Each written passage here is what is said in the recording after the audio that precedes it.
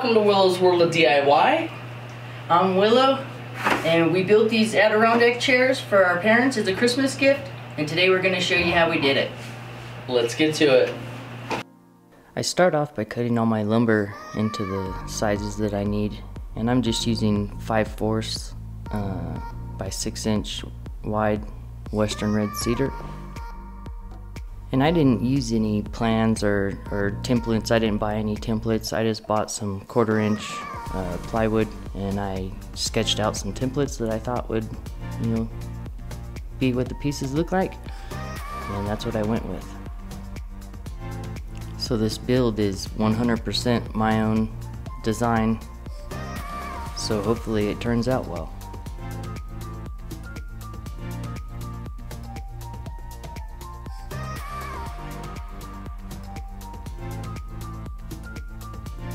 And you can see here I didn't make templates for every single piece. I just, you know, used measuring tape and a framing square.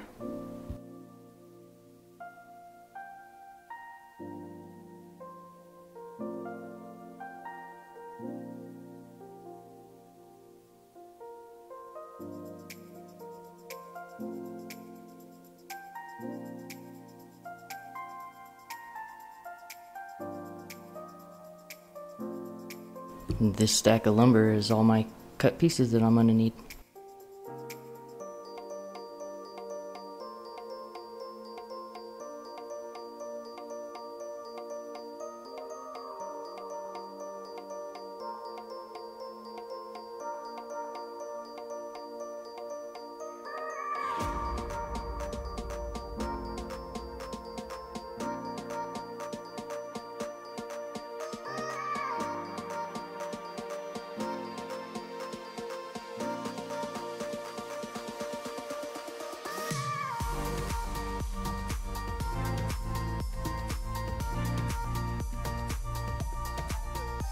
Now I'm using the jigsaw to cut all my pieces to the shapes that I want them to be.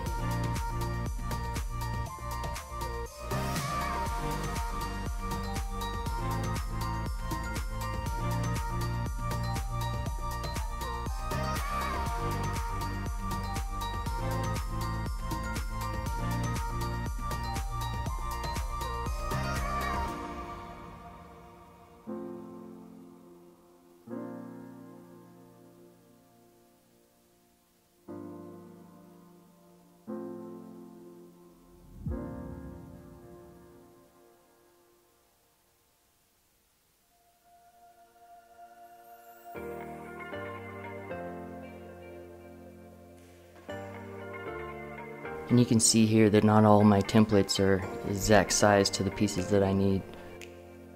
And the reason for that is, you know, I didn't know any dimensions on any of this lumber. I, I just kind of guesstimated what I needed, and I went with it. And I did my best to make it work.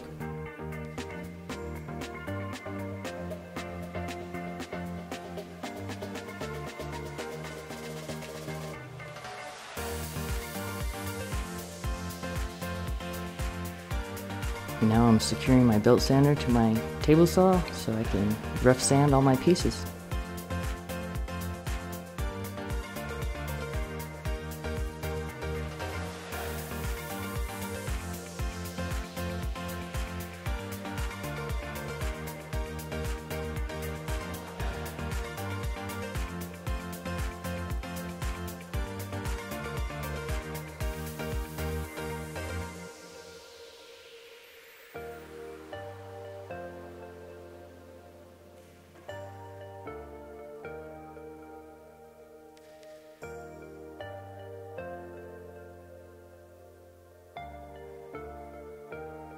I'm putting these pieces in these in this clamp to uh, sand them and make them identical to each other.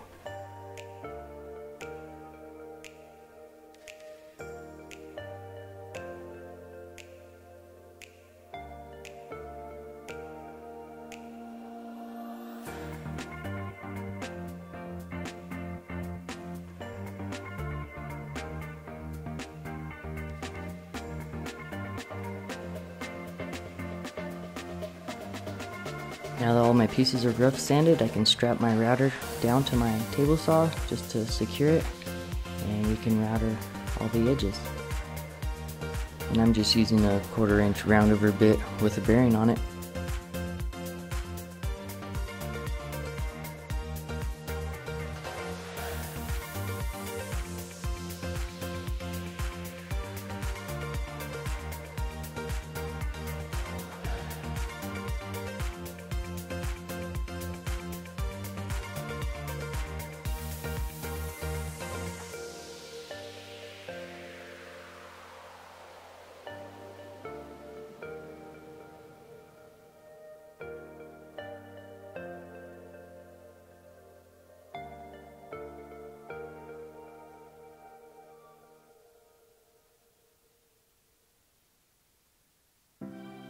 Now I'm using a 45 degree router bit with a bearing.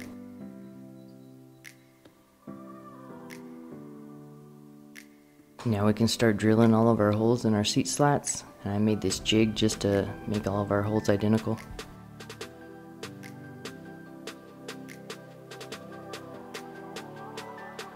Now I can start finish sanding all the pieces with a random orbital sander.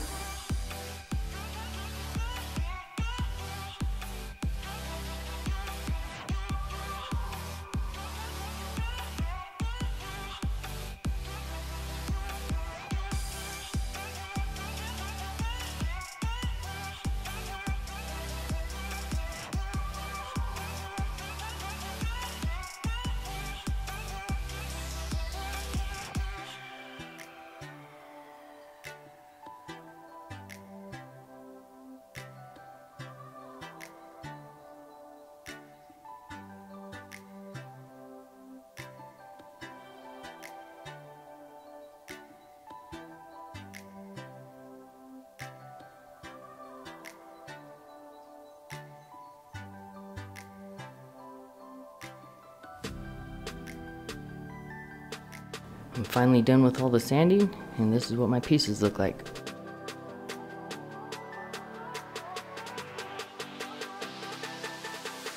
Now I'm just setting the lumber up and screwing it all together.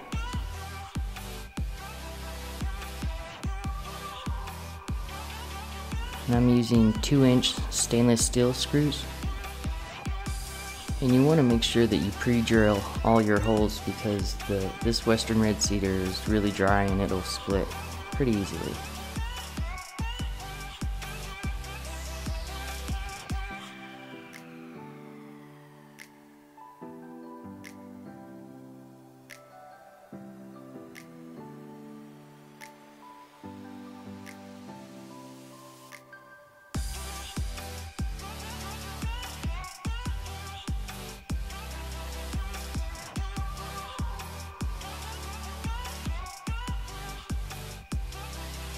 It's snowing outside and my garage is freezing, so we're gonna crank up some heat.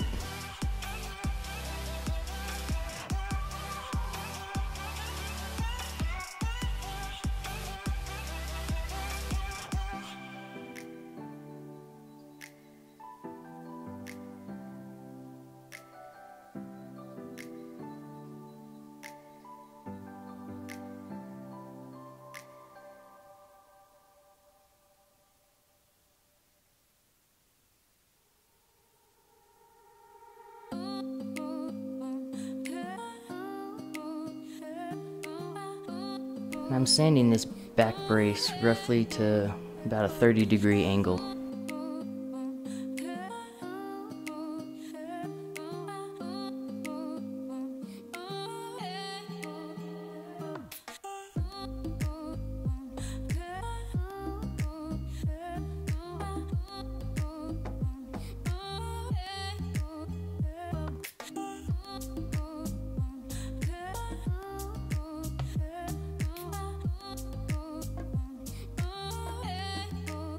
I used my jigsaw to make some notches on the armrest just to fit the back slats so they they clear.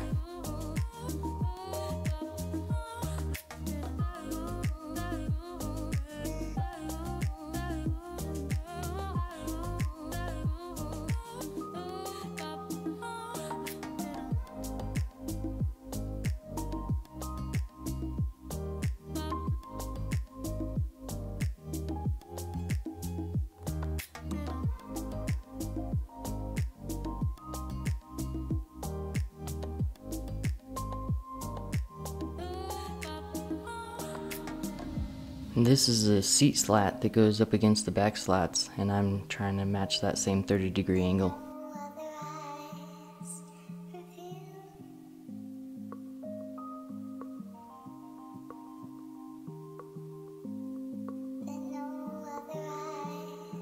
Now we can start installing our seat slats.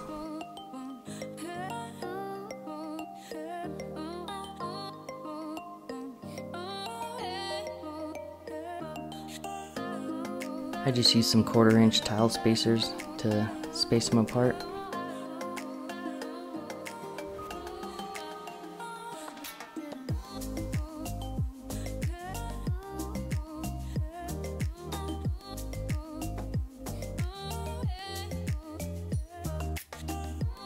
This is what it looks like all together.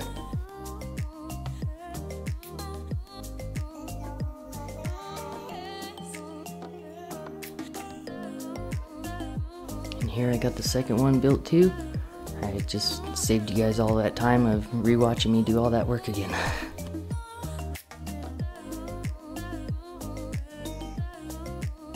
and here you can see that the chair on the left is coated with epoxy coating and the chair on the right is not.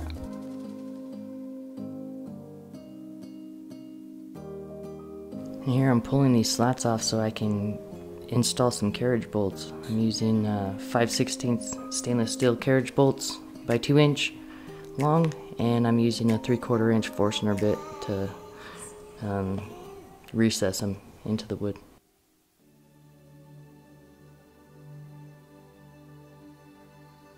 And I do the same thing at the back of the armrests. Now I'm going to take the chair completely apart so I can apply the penetrating epoxy on each individual piece.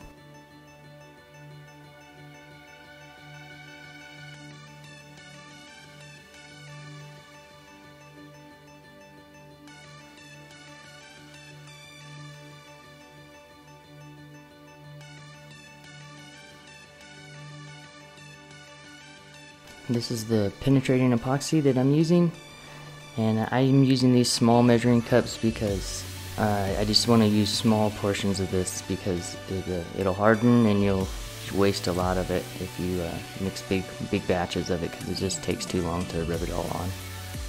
Here I taped up all the uh, pieces that are going to be in contact with the ground and I pour about an eighth inch uh, thick layer of epoxy on any pieces that are going to have ground contact.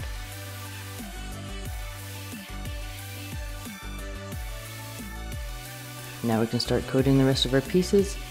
And I just use a real thin layer. Um, you don't want this stuff to, to build up like, you know, if you were pouring an epoxy table, I'm just, I'm just wiping it down basically. Because I'm gonna spray a Halcyon finish on them once the chairs are all put back together.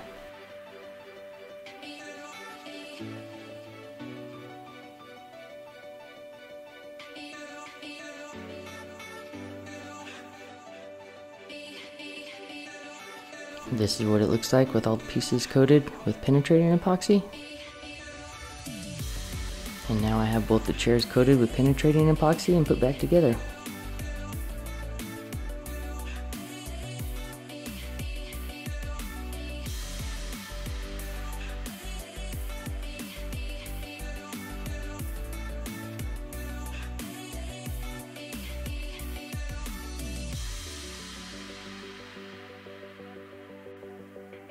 This is the Halcyon finish that I'm using.